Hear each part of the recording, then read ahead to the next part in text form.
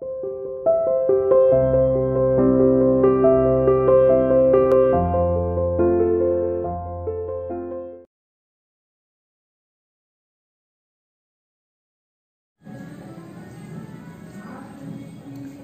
to CR International Online Classes. Hello students, how are you? Hope you are fine. ठीक है बेटा आज हम अपना चैप्टर नंबर जो टू चल रहा था हमारा स्वास्थ्य में सरकार की भूमिका इसे ही कंटिन्यू करेंगे हमने पढ़ा था स्वास्थ्य में सरकार की भूमिका, कि सरकार का क्या रोल होता है स्वास्थ्य में लेकर, कि किस तरीके से लोगों की हेल्थ को लेकर सरकार काम करती है, सरकार कैसे हॉस्पिटल्स चलाती है प्राइवेट हॉस्पिटल्स और जो गवर्नमेंट हॉस्पिटल्स हैं, इनके बारे में हमने पढ़ा था कल, कि स्वास्थ्य सेवाएँ जो है वो दो प्रकार की होती हैं, और वो दो प्रकार कौन कौन से हैं? एक तो है आपका सार्वजनिक स्वास्थ्य सेवाएँ और दूसरा है आपकी निजी स्वास्थ्य सेवाएँ।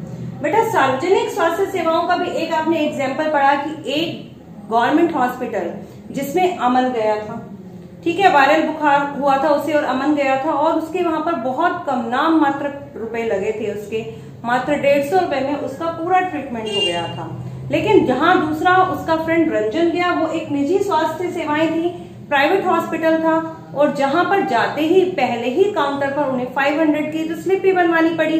ठीक है? और यहाँ पर उसके लगभग साढ़े तीन से चार हज़ार रूपए खर्च हुए। तो आज हम इन्हीं के बारे में डिटेल से बात करेंगे, सार्वजनिक स्वास्थ्य सेवाएँ और निजी स्वास्थ्य सेवाएँ। तो सबसे पहले हम पढ़ते हैं सार्वजनिक स्वास्थ्य सेवाएँ। सार्वजनिक स्वास्थ्य सेवाएँ, सार्वजनिक स्वास्थ्य सेवा, स्वास्थ्य केंद्रों में अस्पतालों की एक श्रृंखला है जो सरकार द्वारा चलाई जाती है। मतलब ये जो स्वास्थ्य सेवा है, सार्वजनिक स्वास्थ्य सेवा ऐसे स्वास्थ्य केंद्र या हॉस्पिटल हैं जिन्हें गवर्नमेंट चलाती है।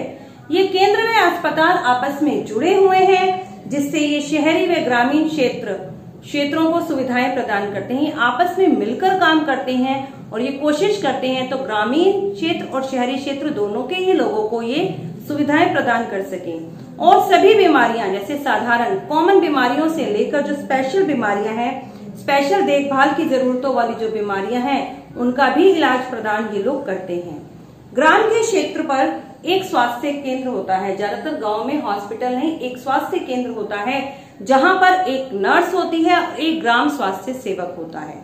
तो बेटा, इस नर्स को और ग्राम स्वास्थ्य सेवक को प्रशिक्षण दिया जाता है, ट्रेनिंग दी जाती है सामान्य बीमारियों के ट्रीटमेंट के लिए। और वे प्राथमिक स्वास्थ्य केंद्र केंद्र के डॉक्टरों की देखरेख में काम करते हैं। जो स्वास्थ्य केंद्र बने हुए हैं, प्राथमिक स्वास्थ्य केंद्र, उनके देख उनके जो डॉक्टर हैं, उनके निरीक्षण में ये लोग काम करते हैं। ग्रामीण क्षेत्र में ऐसा केंद्र कई गाँवों की ज़रूरत को पूरा करता है। यदि एक हेल्थ सेंटर बन गया तो कई गाँव के लोगों की जरूरतों को पूरा कर रहा है। गाँव से बहुत सारे मरीज़ वहाँ पर आते हैं और जिला स्तर पर जिला अस्पताल होता है। जो कि इन सभी स्वास्थ्य केंद्रों की देखभाल करता है। मतलब एक ज़िले के अंतर्गत जितने गाँव आ गए और उनके अंदर जितने भी ये स्वास्थ्य केंद्र बने हैं, उन सब का निरीक्षण वो जिला अस्पताल करता है।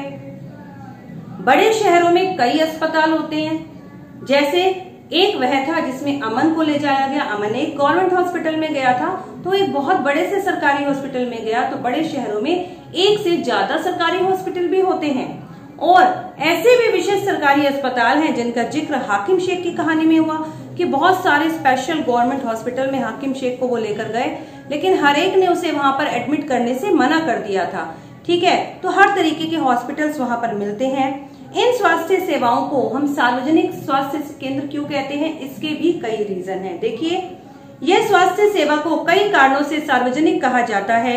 सरकार ने सभी नागरिकों को स्वास्थ्य सेवा प्रदान करने के लिए, वचनबद्धता को पूरा करने के लिए मतलब सरकार जो है, सभी नागरिकों को स्वास्थ्य सेवाएँ प्रदान करने की जो वचनबद्धता होती है मतलब जब भी एक गवर्नमेंट, एक नई गवर्नमेंट बनती है तो वो कई सारी शपथ लेती है और उसमें उसका सबसे पहला काम होता है लोगों की भलाई के लिए काम करना, अपने देश के नागरिकों की रक्षा करना, उनके स्वास्थ्य की रक्षा करना।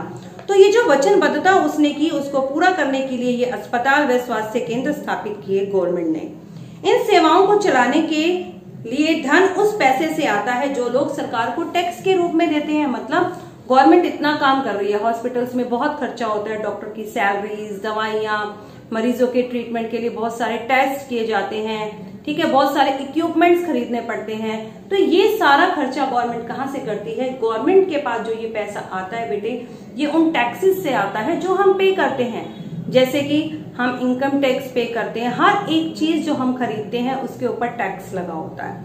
आप देखिए, छोटी सी भी चीज़ हम खरीदते हैं, उसके पीछे जब आप देखेंगे, जहाँ एमआरपी लिखी है कि इंक्लूसिव ऑल टैक्स सभी करो सहित। उसमें कर ऐड हुआ होता है, उसके अलावा सरकार रोड टैक्स लेती है है ना? इलेक्ट्रिसिटी पर टैक्स लेती है। बहुत सारे टैक्सेस गवर्नमेंट के पास आते हैं, जिसे वो लोगों के वेलफेयर के लिए यूज़ करती है।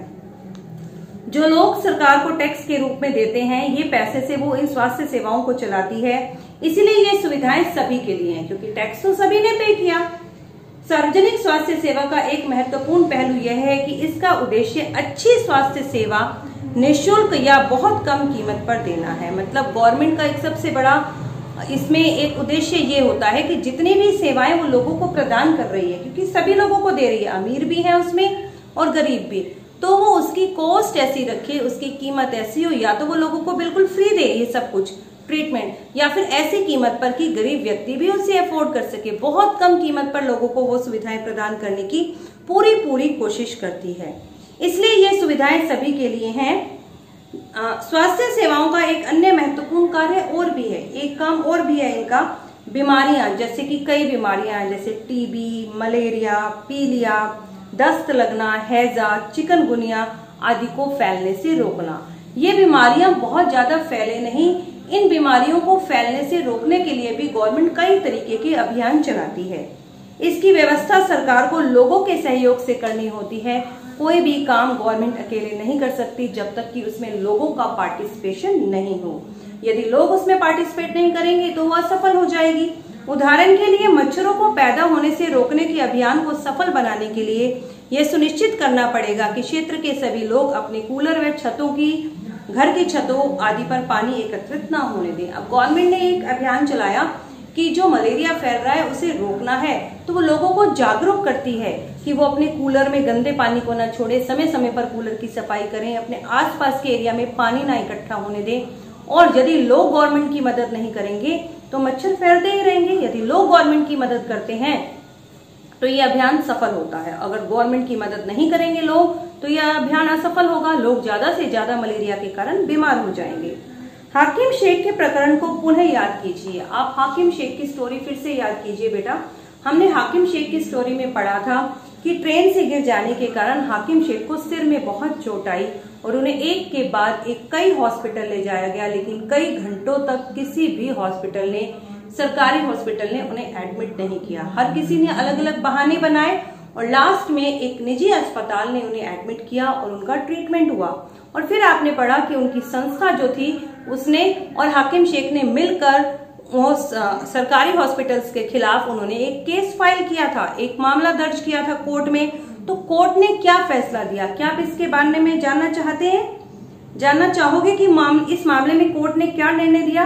हमारे संविधान के अनुसार लोगों के हितों को सुनिश्चित करना और सबको स्वास्थ्य सेवाएँ प्रदान करना सरकार का प्राथमिक कर्तव्य है कि सरकार की ये पहली ड्यूटी है कि सभी लोगों को स्वास्थ्य सुविधाएँ प्रदान करे। सरकार को हर व्यक्ति के जीवन के अधिकार की रक्षा करनी है। अदालत ने कहा कि हाकिम शेख को जिन कठिनाइयों से गुजरना पड़ा, उसमें उसकी जान भी जा सकती थी। मतलब इतनी क्रिटिकल कंडीशन में इतने घंटे उसे एक हॉस्पिटल से दूसरे हॉस्पिटल ले जाया गया और सब मना कर रहे थे तो इसमें उसकी जान भी जा सकती थी। यदि कोई अस्पताल समय पर व्यक्ति को इलाज प्रदान नहीं कर सकता तो इसका मतलब ये है कि उसे जीवन की सुरक्षा नहीं दी जा रही है, कि हमने उस व्यक्ति को जीवन की सुरक्षा नहीं दी। अदालत ने यह भी कहा कि यह सरकार का कर्तव्य है कि वे मरीजों को आवश्यक सुविधाएँ प्रदान करे, कि जो नेसेसरी स्वास्थ्य सेवाएँ हैं, वो तो सभी को उपलब्ध हो। जिसमें आकस्मिक इलाज की सुविधा भी सम्मिलित हो, यदि किसी व्यक्ति का एक्सीडेंटली कोई एकदम एक्सीडेंट हो गया है ट्रेन से गिर गया तो उसके लिए स्पेशल सुविधाएँ हो, उसको जल्दी से जल्दी ट्रीट करना चाहिए। लेकिन ऐसा नहीं हुआ था। अस्पताल और उनके स्वास्थ्य संबंधी कर्मचारियों को आवश्यक इलाज प्रदान करने की ज़िम्मेदारी करनी चाहिए। करे, सरकार तो करे करे। उसके साथ साथ जो वहाँ पर डॉक्टर हैं और जो कर्मचारी हैं, वो भी अपनी ड्यूटी को अच्छे तरीके से निभाएँ। कई सरकारी अस्पतालों ने हाकिम शेख का इलाज करने से मना कर दिया, जिसके कारण वो बहुत ही क्रिटिकल कंडीशन में हो गए। इसलिए अदालत ने राज्य सरकार को निर्देश दिए कि वे हाकिम शेख द्वारा इलाज पर व्यय किए गए पूरे खर्चे का भुगतान करे। मतलब गवर्नमेंट हॉस्पिटल्स ने उन्हें मना कर दिया और गवर्नमेंट हॉस्पिटल्स जो हैं, एक राज्य के अंदर स्टेट गवर्नमेंट ही चलाती है तो कोर्ट ने स्टेट गवर्नमेंट को ये ऑर्डर दिया कि जितना भी पैसा हाकिम शेख का खर्च हुआ है, ये सब सरकार की गलती से हुआ है, उसे तो एक गवर्नमेंट हॉस्पिटल में भी ट्रीट किया जा सकता था, लेकिन ऐसा नहीं हुआ। इसीलिए उसने जितना भी पैसा खर्च किया है, वो स्टेट गवर्नमेंट उसे वापस करेगी।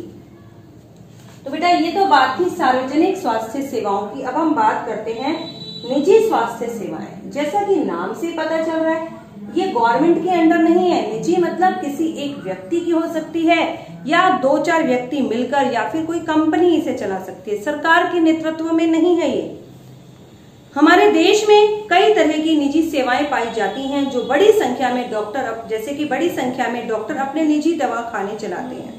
कई प्रकार की निजी स्वास्थ्य सेवाएँ हैं। डॉक्टर अपने पर्सनली छोटे छोटे क्लिनिक खोल लेते हैं, अपने हॉस्पिटल्स खोल लेते हैं डॉक्टर ग्रामीण क्षेत्रों में पंजीकृत चिकित्सा व्यवसायी मिल जाते हैं जिन्हें आर एम पी कहा जाता है। और छोटे डॉक्टर होते हैं जो अपना एक छोटा सा क्लिनिक बनाकर जो आ, सिंपल बीमारियाँ होती हैं बुखार है खांसी है जुकाम है इस प्रकार की जो सामान्य बीमारियाँ हैं उसको ट्रीट करते हैं। शहरी क्षेत्रों में बड़ी संख्या में डॉक्टर हैं जिन्होंने बहुत से विशेष की सेवाएँ प्रदान करते हैं। विशेष बीमारियों को भी ट्रीट करते हैं ये लोग। और निजी रूप से चलाए गए, चलाए जा रहे अस्पताल व नर्सिंग होम भी हैं शहरों में। और काफ़ी संख्या में कई सारी प्रयोगशालाएँ, कई सारी लैब हैं, जो कि परीक्षण करती हैं कि किस प्रकार की बीमारी है। या कोई और उन्हें इस प्रकार की विशेष सुविधाएँ देती है, जैसे उनका एक्सरा करना, उनका अल्ट्रासाउंड करना, उनकी बीमारियों की पहचान करना, खून की जाँच करना, इन सब में उनकी मदद करती है। जैसे एक्सरे, अल्ट्रासाउंड आदि। और वहाँ पर कई दुकानें भी हैं जिनसे हम दवाइयाँ ले सकते हैं। ठीक है, दुकानें भी बनी हैं शहरों में बहुत सारी। जैसा कि इसके नाम से ही ज्ञात होता है कि निजी स्वास्थ्य सेवाएँ हैं ये तो निजी स्वास्थ्य सेवाओं पर सरकार का स्वामित्व या नियंत्रण नहीं है। सरकार का कोई कंट्रोल नहीं है, क्योंकि ये एक व्यक्ति की अपनी निजी संपत्ति है, वो हॉस्पिटल और वो व्यक्ति उसे खुद चला रहा है। सार्वजनिक स्वास्थ्य सेवाओं के विपरीत इन निजी स्वास्थ्य सेवाओं में मरीज़ को हर सेवा के लिए बहुत अधिक धन व्यय करना पड़ता है, उसका बहुत ज़्यादा पैसा लगता है। जैसे कि आपने अमन और रंजन की स्टोरी में पढ़ा कि जब अमन को एक गवर्नमेंट हॉस्पिटल में ले जाया गया तो उसका खर्चा बहुत कम हुआ। लेकिन जहाँ रंजन एक प्राइवेट हॉस्पिटल में गया तो सेम बीमारी के लिए उससे बहुत ज़्यादा पैसा खर्च करना पड़ा।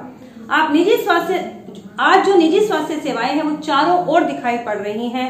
अब तो बड़ी बड़ी कंपनियाँ बड़े बड़े अस्पताल चला रही हैं। और कुछ कंपनियाँ तो दवाइयाँ बनाने और उन्हें बेचने में भी लगी हुई है। शहर के कोने कोने में दवाइयों की दुकानें खुली हैं। तो बेटा, इस प्रकार जो है, स्वास्थ्य सेवाएँ दो प्रकार की थी। सार्वजनिक स्वास्थ्य सेवाएँ, जिन्हें गवर्नमेंट चला रही थी। और गवर्नमेंट की ये ड्यूटी है कि देश के हर एक नागरिक को स्वास्थ्य सेवाएँ, ज़रूरी स्वास्थ्य सेवाएँ उपलब्ध कराए। और निजी स्वास्थ्य सेवाएँ क्या है, जिन्हें कोई व्यक्ति या फिर व्यक्तियों का समूह मिलकर खोलता है? कोई कंपनी भी इसे खोल सकती है। यहाँ पर अगर कोई व्यक्ति जाता है तो उसे बहुत ज़्यादा ट्रीटमेंट पर खर्च करना पड़ता है। तो गरीब व्यक्ति तो यहाँ जा नहीं पाएगा। इसीलिए सरकार ने सार्वजनिक स्वास्थ्य सेवाएँ बनाई हैं ताकि गरीब व्यक्ति भी अपनी बीमारी का इलाज कर सके। ठीक है बेटा? आज के लिए बस इतना ही। ओके।